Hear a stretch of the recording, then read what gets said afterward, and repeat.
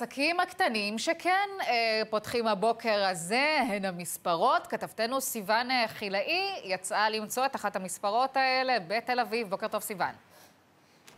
בוקר טוב, אלכס. נכון, אה, תל אביב אה, לאט לאט עוד אה, מתעוררת. אנחנו ראינו מספרות שכבר בשמונה בבוקר נפתחו, ויש כאלה שבשעה תשע ועשר אנחנו יודעים שכל הסוף השבוע הלקוחות המשיכו ופנו אליהם בהתרגשות כבר להגיע ולקבל את הטיפול שחודש וחצי הם נמנעו ממנו.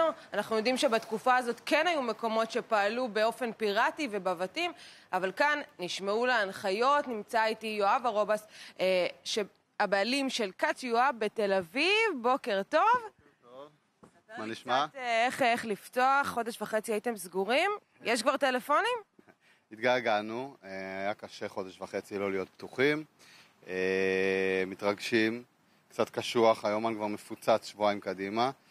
מהרגע שהחליטו שפותחים מבול של טלפונים והודעות בוואטסאפ ובאינסטגרם ובפייסבוק, תחושה של... היינו סגורים חודש וחצי, אני מניחה שפיצויים עדיין לא קיבלת, יש מספרות שבטח לא התאוששו מזה. לא, לא קיבלנו כלום, לצערי, עדיין, אנחנו, אי אפשר להבין בכלל מה אנחנו אמורים לקבל, אם אנחנו אמורים לקבל, אנחנו מנסים לקחת את זה one day at a time, אה, מאוד קשוח, הייתי מצפה שלפני שיוצאים לסגר, שהיה די מתוכנן, ידעו בדיוק, בדיוק מתי יוצאים לסגר, הייתי מצפה שלפני זה תהיה תוכנית ויגידו לנו, הנה, תקבלו כסף לחודש הקרוב, תהיו רגועים, תשבו בבית. אה, זה גרם לספרים לעבוד מהבתים, זה גרם ללקוחות שלנו ללכת לספרים אחרים שעובדים בבתים. מה אתה חושב על זה? אני חושב שזה גרוע, זו ההתנהלות בארץ. אה, לאנשים אין ברירה, הם היו חייבים להשלים הכנסה, עבדו מהבתים, אני לא מאשים אותם, אני מאשים רק את ההתנהלות של המדינה בדבר הזה. תראה, בסופו של דבר אנחנו רוצים אה, לשמור על התחלואה שלא תעלה. אנשים שעושים את זה בבית, אי אפשר באמת לשמור שהם פועלים על פי התו הסגול, ולעומת זאת, אתם במספרות, באמת אני ראיתי איך אתם מקפידים. לא, לא עצבן אותך כל התקופה הזאת, חודש וחצי הייתם סגורים כשאנשים המשיכו והסתפרו ועשו צבע? מה שעצבן אותי, שוב, זה לא הספרים שעשו את זה, כי יש אנשים שלא יכולים פשוט, לא יכולים, חייבים להתפרנס, אה, לא השאירו להם ברירה. לא נתנו להם מענקים, לא נתנו להם שום דבר. יש אנשים שהם אה, על התפר בין עצמאים לשכירים, שממש לא קיבלו כלום כל התקופה הזאת. אני אזכיר לך שגם היינו חודש וחצי סגורים לפני, ממרץ. אה, אנשים חייבים להשלים את זה. אה, ואני כועס, על ה, כועס על המדינה, יכלו להשאיר גם אותנו פתוחים, יכלו לתת לנו מענק ולהגיד לנו תהיו רגועים, אז באמת שאף אחד לא היה עושה שום דבר כזה. אז איך זה יעבוד? אני מבינה שכל פעם רוח שם, שאדם אחד צריך להיות כל פעם בפנים. לא, צריך להיות אדם אחד לספר. זאת כן. אומרת, כל אחד צריך להיות עם הלקוחה שלו. מתווה קצת בעייתי, כי מה עושים עם מישהי שבאה לגוונים ועכשיו היא יושבת וממתינה? אולי, אולי תראה לנו עכשיו, אין עדיין לקוחות, נכון? כן, עדיין אין, באנו לסדר, לנקות, אה, להכין הכל. זה יהיה קצת קשוח, כולנו נהיה עם מסכות, נשמור, הלקוחות ימתינו אה, בחוץ, בזמן שיש לקוחה אחת בפנים, נקווה לטוב. יש פחד מסקר נוסף? בוודאי, לא רק מסגר, יש פחד אמיתי מלהיכנס אה, לבידוד.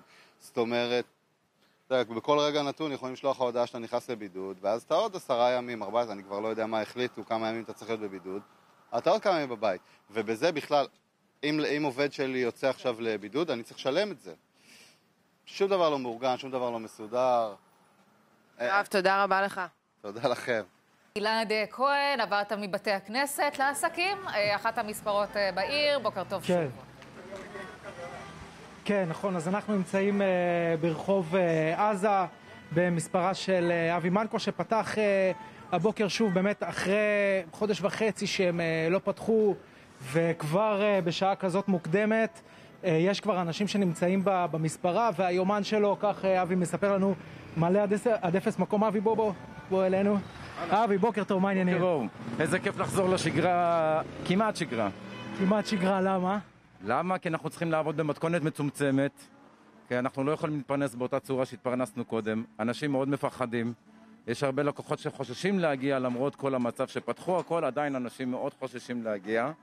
ואנחנו מנסים לעשות את המיטב. אחרי כמעט חודש וחצי שהיינו סגורים, והודות לממשלה הנכבדה קיבלנו מענקים זעומים שלא מאפשרים לכולם להתקיים.